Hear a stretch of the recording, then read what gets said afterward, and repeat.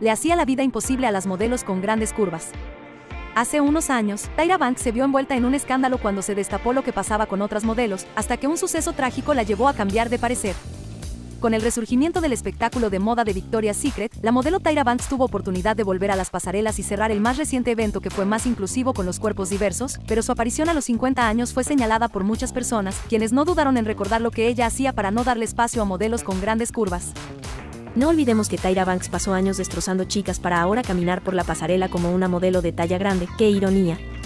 Cuando ella estaba al frente del programa America's Next Top Model, no dudaba en criticar a las chicas que no cumplían con los exigentes estándares de la industria y las señalaba de forma brutal. En la primera temporada, la concursante Robin Manning era continuamente señalada por no tener la complexión de otras chicas, a pesar de ser una talla 6. Robin representaría a una modelo de talla grande, un problema que tengo es que en la parte superior no es de talla grande, pero en la parte inferior sí lo es. Robin fue etiquetada como una joven de talla grande por Tyra, cuando claramente no lo era, mientras que la exmodelo Janice Dickinson la llamó gorda y enorme. En el mundo fuera de la moda, la talla grande se considera a partir de la 12 en adelante. Con el paso de los años, los duros señalamientos a chicas que para nada debían ser consideradas grandes continuaron, por lo que las críticas hacia Tyra y los jueces del show empeoraron.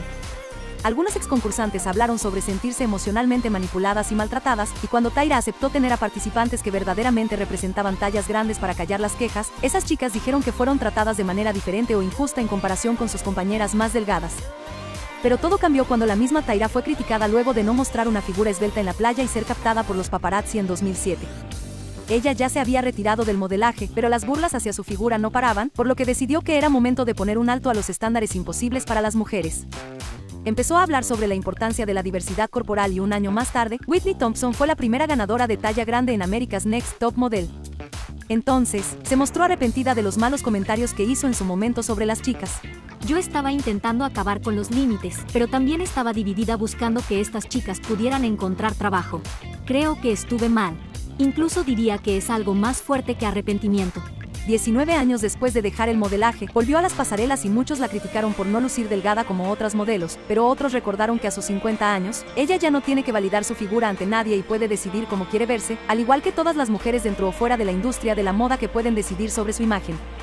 Tyra cometió un error del que se dio cuenta muchos años más tarde y desde entonces ha luchado por reparar el daño en la confianza de otras, empezando por aceptarse a sí misma y así empoderar a otras mujeres sea cual sea su talla aunque en algún momento fue muy dura con otras chicas, hoy las apoya y solo busca su felicidad y triunfo profesional. ¿Ya sabías lo que pasó con Tyra Banks en sus días como jueza de modelos? ¿Tú qué hubieras hecho en su lugar?